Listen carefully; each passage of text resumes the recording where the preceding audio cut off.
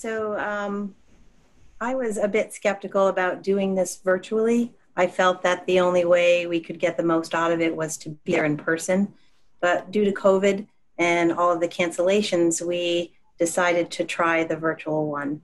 Um, I have to say that I was extremely impressed with how things were run, how organized everything was, and how true to yourselves with making it a safe place.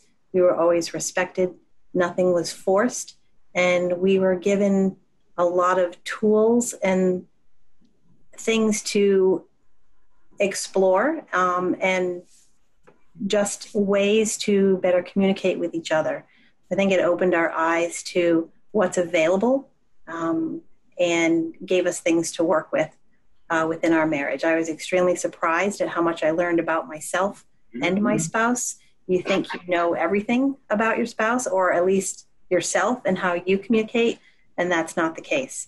So, um, this definitely opened my eyes to how I was acting and how I should be acting, and uh, things I can do to make things better, um, and how to work on yourself specifically because until you're happy with yourself, you can't be happy with the marriage or your spouse. So thank you for that. And you know, Donna echoes a number of things that she that I feel appreciative of. Um, she asked me to come to this, and I was not eager to come to it. Um, and but I'm thankful that um, she brought me to it.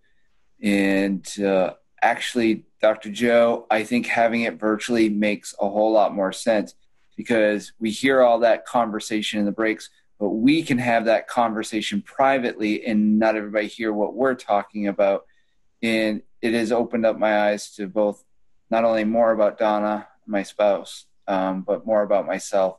And I thought I had myself under control, but I, I realized there's some things I need to work on on myself. So thank you very much for that marriage helper. Uh, really appreciate it.